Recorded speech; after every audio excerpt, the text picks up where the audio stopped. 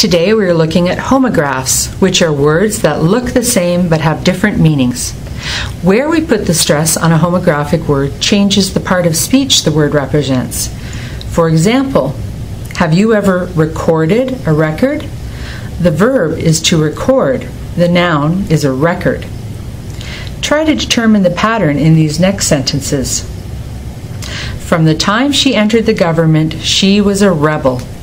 She inspired others to rebel against the way things were done in their department. Second, she received a wonderful present for her birthday.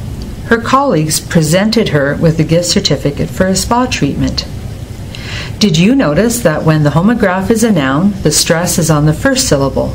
Record, rebel, present. When it's a verb, the stress goes on the second syllable. Record, rebel, present. Can you think of some other homographs? Ask your instructor if you'd like more information on this.